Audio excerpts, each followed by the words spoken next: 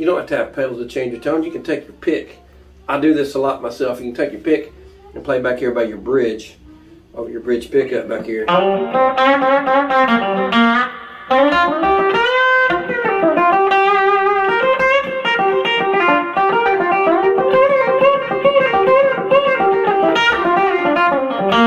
Gives you a completely different tone. Your fingers, here's your fingers.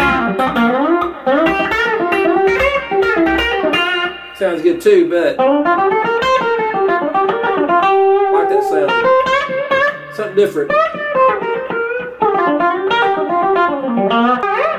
Try that, man. I think you'll like it.